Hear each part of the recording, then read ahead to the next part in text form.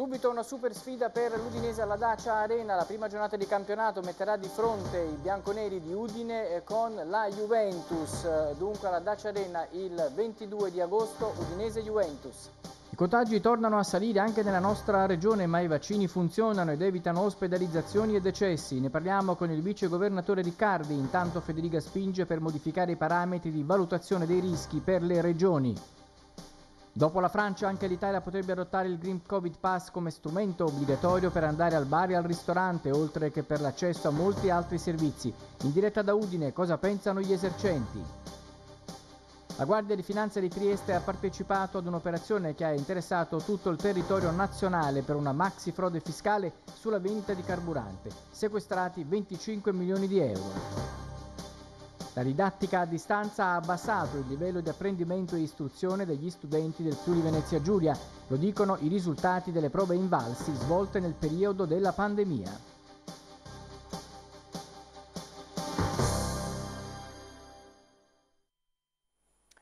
Buonasera, edizione in diretta delle 19 del nostro telegiornale, lo avete visto dai titoli, sarà la Juventus la prima avversaria dell'Udinese nel campionato 2021-2022, in corso la compilazione dei calendari che come sapete ha come grande novità da questa stagione una compilazione non più simmetrica, un calendario dunque asimmetrico, non c'è corrispondenza tra la prima di andata, la prima di ritorno e così via, le altre giornate del girone di andata e di ritorno. Siamo in grado di mostrarvi anche la prima giornata di ritorno per eh, dimostrarvi quello che vi ho appena detto. E quindi la prima giornata, il 22 agosto, vedrà in campo l'Udinese contro la Juventus, mentre la ventesima giornata, che sarà il giorno dell'Epifania, la prima di ritorno vedrà l'Udinese in trasferta contro la Fiorentina. Dunque per la prima volta nel calcio italiano il calendario sarà asimmetrico. Le altre partite del primo turno le vedete Bologna-Salernitana, Cagliari-Spezia, Empoli-Lazio, Hellas-Verona-Sassuolo, Inter-Genoa, Napoli-Venezia, Roma-Fiorentina, Sandoria-Milan, Torino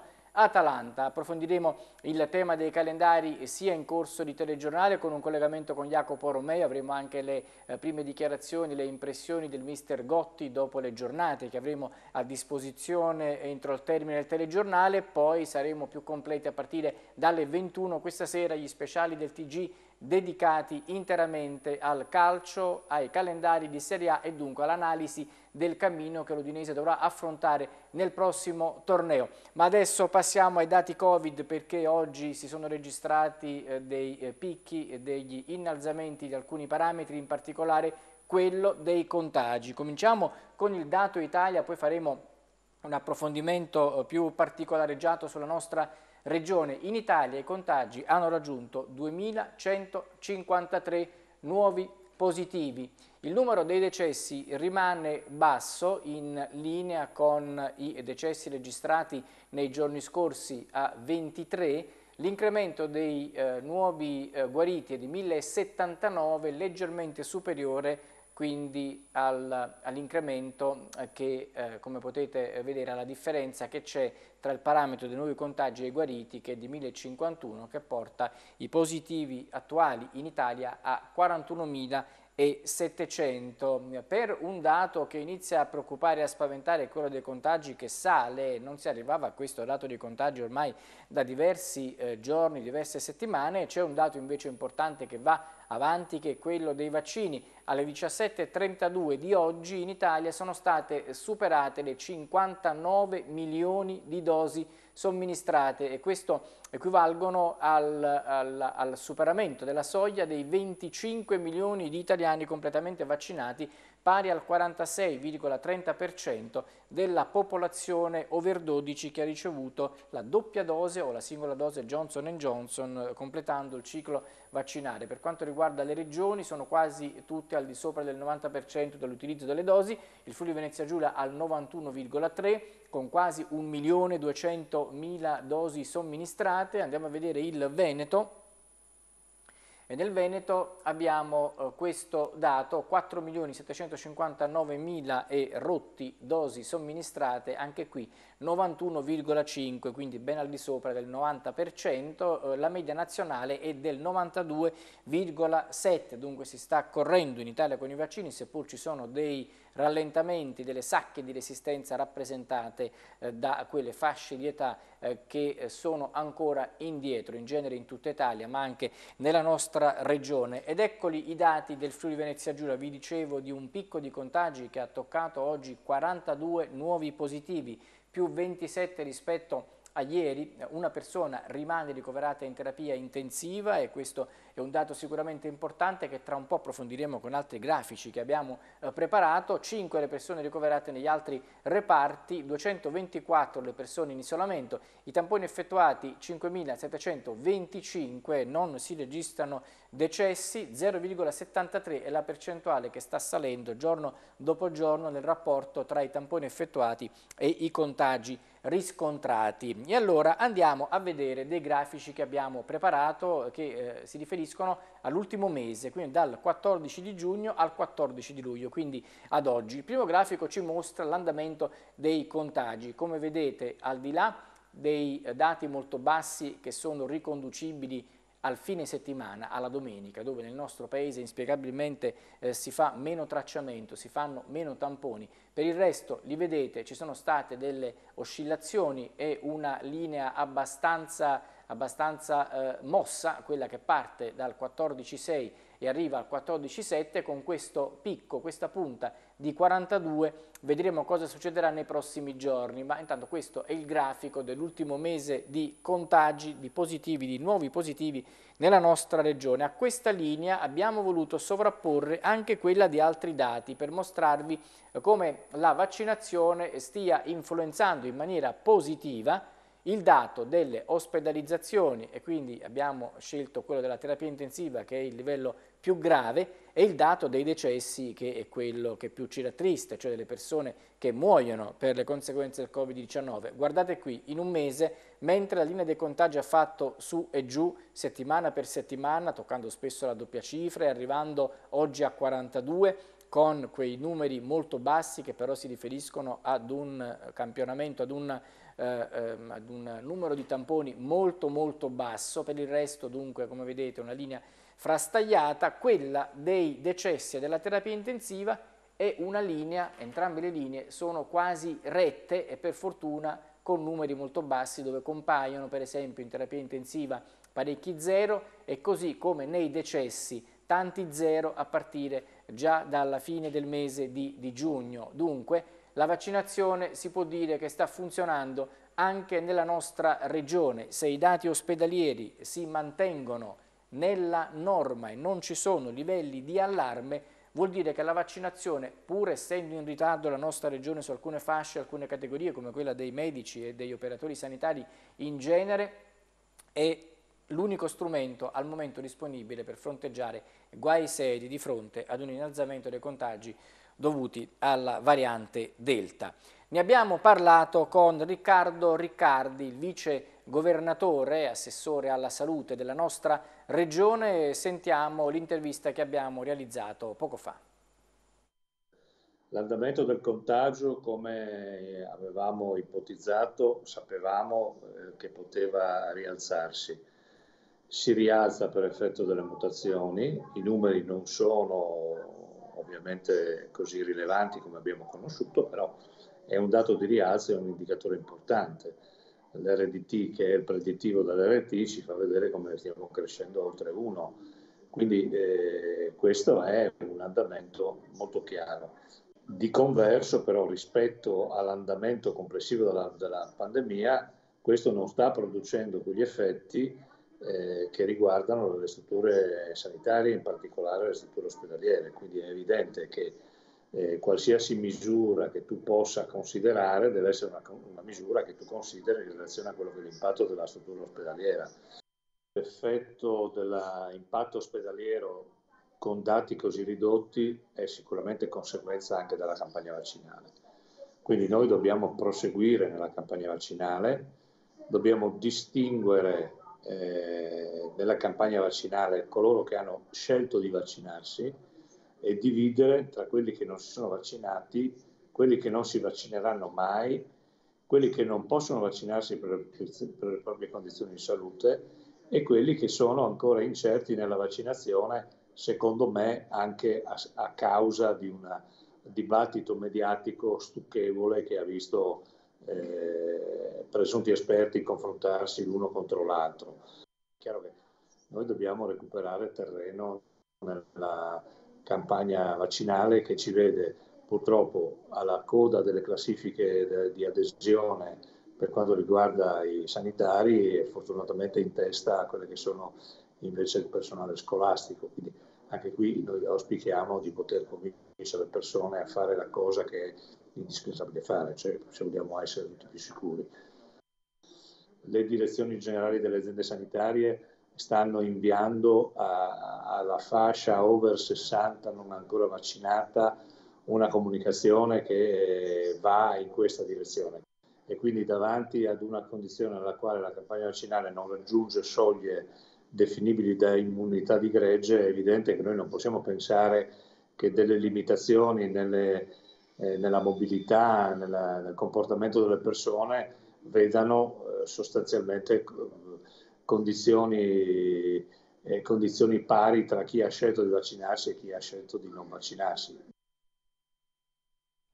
Queste le parole di Riccardo Riccardi eh, che ha chiuso anche con un discorso eh, che va nella direzione del Green Covid Pass, cioè chi si vaccina ma chi riesce a produrre anche dei dati che permettano di ottenere il Green Covid Pass è giusto eh, che non subisca delle restrizioni, c'è il problema eh, di eh, dover eh, disporre poi una obbligatorietà o meno a questo strumento, vedremo l'Italia come si comporterà, la Francia ha iniziato su questa strada, vedremo cosa succederà, ma c'è la possibilità possibilità che anche l'Italia possa seguire l'esempio di Macron. Ne parleremo tra poco perché ci collegheremo in diretta con Matteo Macuglia eh, da via Manin dove chiederemo agli esercenti, ad un esercente che cosa rappresentante di Confesercenti per la sua categoria, che cosa ne pensano. Ma adesso rimaniamo sul campo dell'analisi dei dati e di quello che sta avvenendo con i contagi che salgono, ma i livelli di occupazione ospedalieri che rimangono comunque stabili sul basso e così anche il numero dei decessi che anche oggi è zero.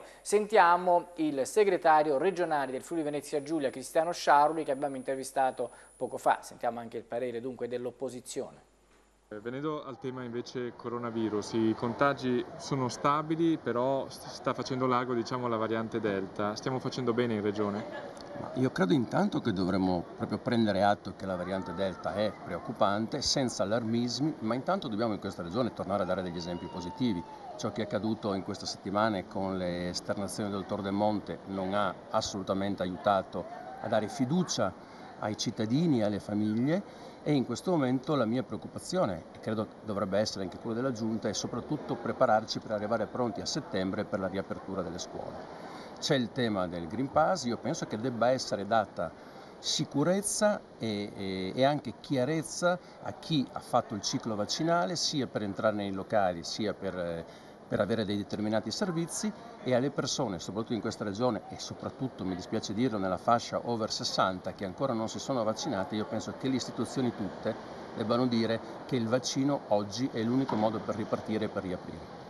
Ecco, eh, sul fronte, sempre restando sul Green Pass, ovviamente il discorso non è soltanto dal lato dell'utente che riceve, ma anche eventualmente del ristoratore, del bar, che si deve attrezzare per eh, gestire questo Green Pass, perché non è solo questione di chiederlo, è questione di leggere i QR, i QR code, è questione di, di, gestire anche il discorso degli anziani, che ovviamente sono meno tecnologici. Abbiamo delle risposte su questo? Beh, allora io penso che ormai l'utilizzo del QR code sia abbastanza eh, diffuso e consolidato da parte di tutti, ma io, il tema principale secondo me è dare un messaggio, ancor più eh, del, dell'obbligo di esibire, dare un messaggio chiaro che chi si vaccina avrà la sicurezza di poter partecipare ai concerti piuttosto che ad andare in una discoteca finalmente, ma eh, dobbiamo in qualche maniera dire a tutti che la vaccinazione è fondamentale.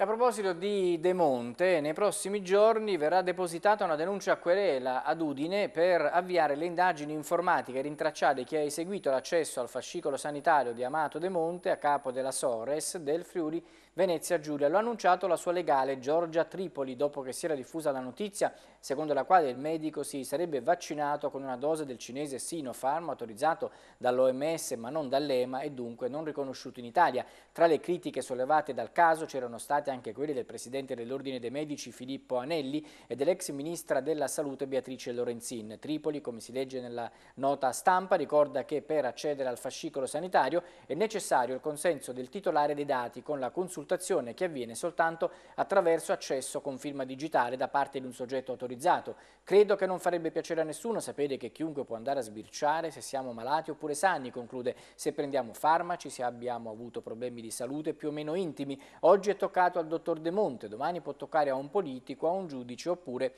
a un funzionario e aggiungo io anche a un eh, normale eh, cittadino, non necessariamente appartenente alle categorie elencate dall'avvocato eh, Tripoli. Adesso eh, invece parliamo eh, di eh, Green Covid Pass, ehm, anzi eh, di parametri di valutazione prima, perché Massimiliano Federica insiste sulla modifica dei parametri di valutazione del rischio delle regioni. Perché ha dichiarato chiudere una regione o metterla in difficoltà perché magari ha un po' di contagi alti ma gli ospedali sono vuoti penso sia controproducente anche per il messaggio che stiamo lanciando ai cittadini, ovvero di partecipare alla campagna vaccinale. Dobbiamo tutti metterci d'accordo sul fatto che il problema sono le ospedalizzazioni, non solo per i malati Covid, ma per tutte le persone che non trovano risposte perché gli ospedali sono saturi.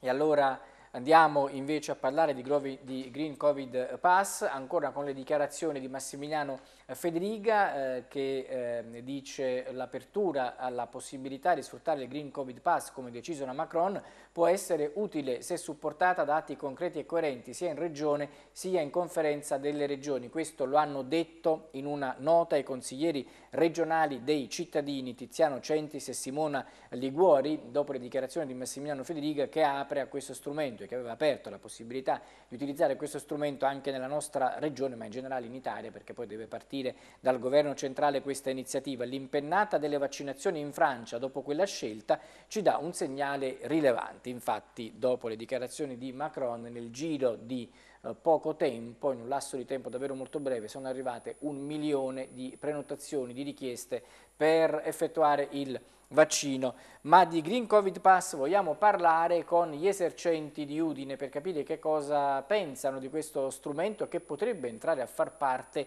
del quotidiano della gestione delle loro attività. Ci colleghiamo con Matteo Macuglia da Via Manin. Matteo. Francesco, ben trovato, buonasera ai nostri telespettatori. Ci troviamo presso la vineria alla Botte di via Manin per parlare proprio del Covid Pass. E siamo con Mattia Viviani, che è il co-titolare di questo esercizio commerciale. Cosa cambierebbe per voi se oggi cominciaste ad applicare questa misura del Green Covid Pass? Beh, non cambierebbe niente, nel senso che ci adegueremo come ci siamo sempre adeguati con le norme, con le ultime norme che sono state imposte e mi adeguerò anche a questo, anche se non sono tanto favorevole, però per continuare a lavorare farei anche questo, non c'è problema. Certo, voi vi adeguate, però quali sarebbero le difficoltà diciamo, per voi esercenti?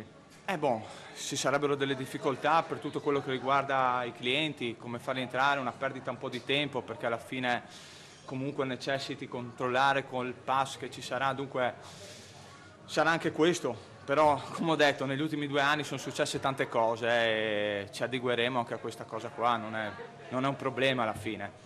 Ecco, ad esempio il Green Covid Pass era già stato applicato per i ristoratori e i baristi nella provincia di Bolzano e una delle difficoltà che era emersa immediatamente era quella degli anziani, no? di come gli anziani ad esempio si rapportano a queste norme che richiedono un minimo di approccio alla tecnologia. Eh, questo potrebbe essere un problema, potrebbe essere un problema perché bon, si sa, gli anziani magari sulla tecnologia sono un po' sulla, te sulla tecnologia di adesso sono un po' indietro, però spero che si trova un si risolve anche questo problema anche per loro in qualche maniera.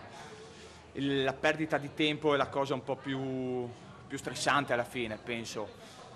Ecco, Eh, voi siete parte anche di Confesercenti, sì. la posizione dell'associazione qual è sul, su questo tema? Ma ultimamente non li ho sentiti, eh, mi confronterò anche con loro, visto che ci confrontiamo per diverse cose, ma penso, se non sbaglio, penso che anche loro l'importante è continuare a lavorare, anche perché abbiamo avuto gli ultimi periodi dei tempi morti e l'importante è continuare ad andare avanti, trovare il modo di lavorare. A me interessa solo quello, devo essere sincero.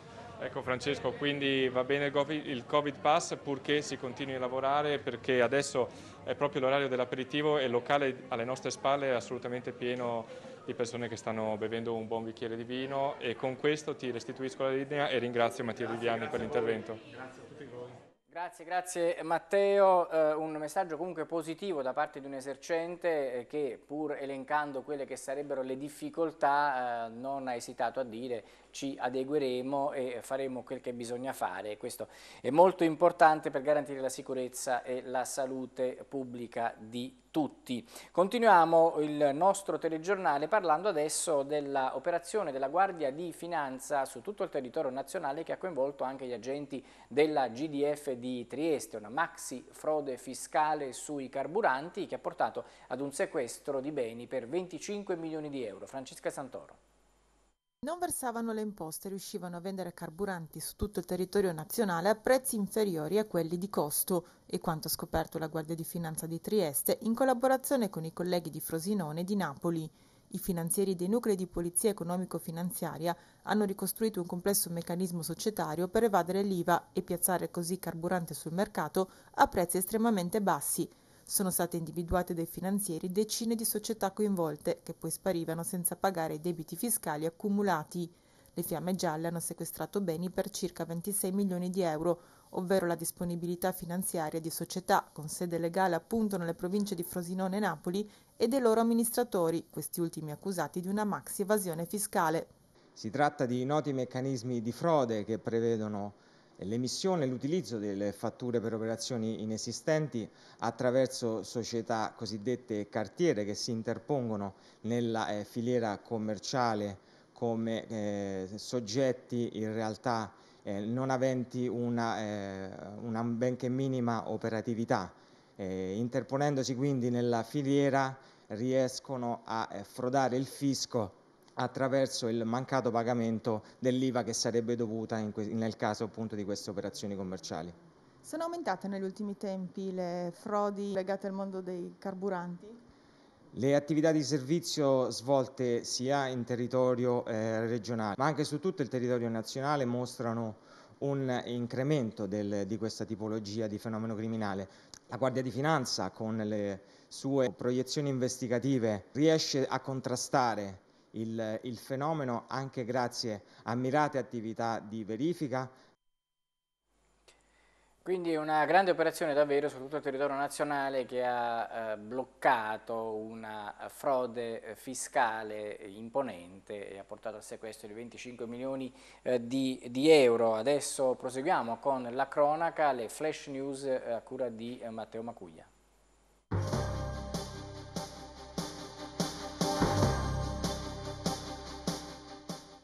Perso la vita a soli 22 anni il giovane udinese Davide Scomparin, residente nella zona di Via del Bon assieme alla madre.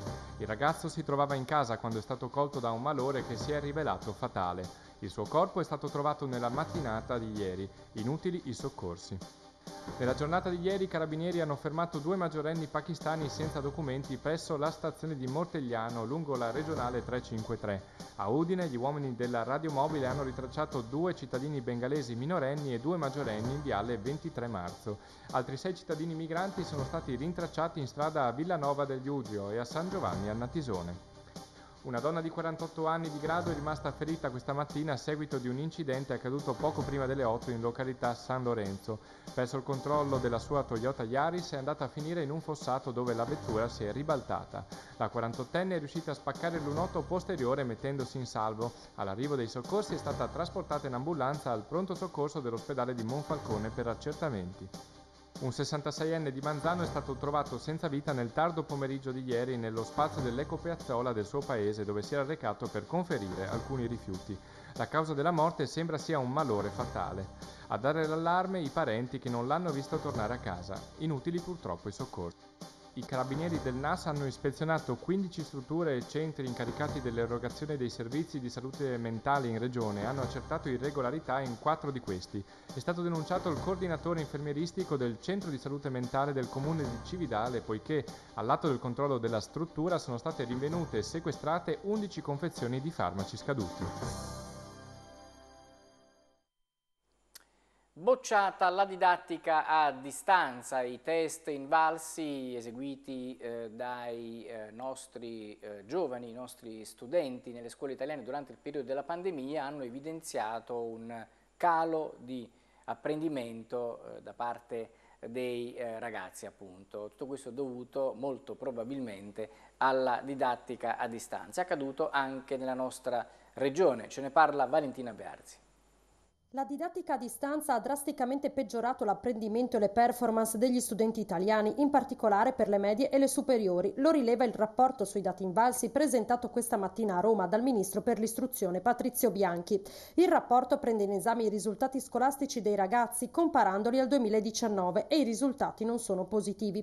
Il confronto degli esiti della scuola elementare del 2019 e del 2021 restituisce un quadro sostanzialmente stabile. La scuola primaria è riuscita quindi ad affrontare affrontare le difficoltà della pandemia garantendo risultati pressoché uguali a quelli del 2019. La DAD e la pandemia invece hanno fatto danni enormi sull'apprendimento dei ragazzi delle secondarie. Alle medie il 39% degli studenti non ha raggiunto risultati adeguati in italiano, il dato sale al 45% in matematica. Alle superiori il dato aumenta rispettivamente al 44% e al 51%, con un più 9%. I problemi principali riguardano il sud e i ragazzi che provengono da famiglie in difficoltà. In molte regioni del Mezzogiorno, oltre la metà degli studenti delle medie non raggiunge la soglia minima di competenze in italiano italiano, Campania e Calabria al 64%, Sardegna 53%, Abruzzo 50%. In Campania poi il 73% degli studenti è sotto il livello minimo di competenza in matematica, dati simili in Sicilia e in Puglia. Il Friuli Venezia Giulia ha mantenuto gli standard precedenti, sia per le medie che per le superiori. Nella media per l'insegnamento di italiano è invece superiore al resto del paese per l'apprendimento della matematica rispetto al 2018, insieme alla provincia di Trento, questo per le scuole medie, mentre invece è nella media italiana per le scuole superiori. Dati che spaventano soprattutto a livello nazionale, dove il 23% degli studenti, quasi uno su quattro, o ha abbandonato la scuola o l'ha terminata senza acquisire competenze di base minime. Giornata di concorso in regione per tanti candidati che si sono presentati allo stadio Rocco per le prove. Eh, sentiamo le interviste raccolte da Francesca Santoro. Per questo concorso per eh, uno dei 15 posti in regione, il primo concorso a cui partecipa? No, non è il primo, però questo sì per me è importante, quindi c'è un po' di emozione come penso per tutti gli altri. Lei ha già un lavoro? Sì, sì, sono, sono già dipendente, sono comunque dipendente regionale, provo a fare lo scarto di, lo scarto di, di categoria, categoria.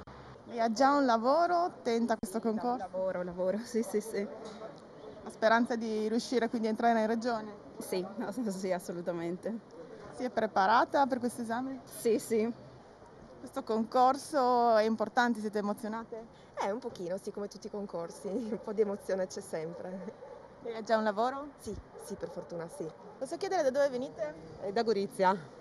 Lei ha già un lavoro? Punta a entrare in regione? Beh sì, ho un lavoro e chiaramente si punta sempre a migliorare, no? Anche lei grande emozione?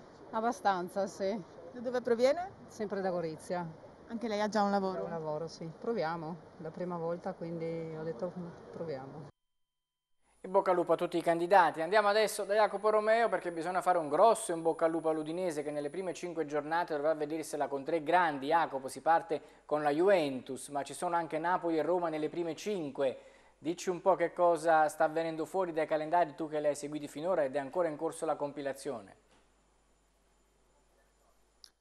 Eh sì, è così. Buonasera a te Francesco, buonasera ai nostri telespettatori. Una compilazione che dobbiamo dirlo va molto molto a rilento. Per adesso sono state svelate solo le prime sette giornate più la prima di ritorno. Sappiamo tutti che c'è la grande novità del calendario asimmetrico come in Premier, come in Liga e in Ligan da questa stagione, cioè il giorno di ritorno non corrisponderà nell'ordine delle gare a quello di andata. E come dicevi tu, l'impatto è quello da incubo. E appena finito l'allenamento e rientrando, ho incrociato i, i giocatori che rientravano che mi hanno chiesto un po' con chi dobbiamo giocare giocare, la prima reazione è stata mamma mia, perché l'Udinese ospita la Juventus alla prima giornata il 22 di agosto. Poi, per, come è accaduto anche due stagioni or sono, gioca le due prime gare del campionato entrambe alla Dacia Arena, perché dopo la Juve sarà la volta della sfida alla matricola, la neopromossa Venezia. Poi la sosta, settembre di nazionali, alla terza si va alla Spezia, alla quarta la seconda delle tre big eh, che affronteremo nelle prime cinque perché alla Dacia Arena arriverà il Napoli, la settimana successiva si va in trasferta contro la Roma di José Mourinho, quindi